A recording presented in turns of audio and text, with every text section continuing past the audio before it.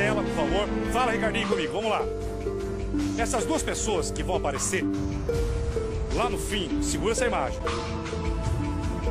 Essas duas pessoas que vão aparecer lá no fundo do túnel, elas não poderiam estar lá.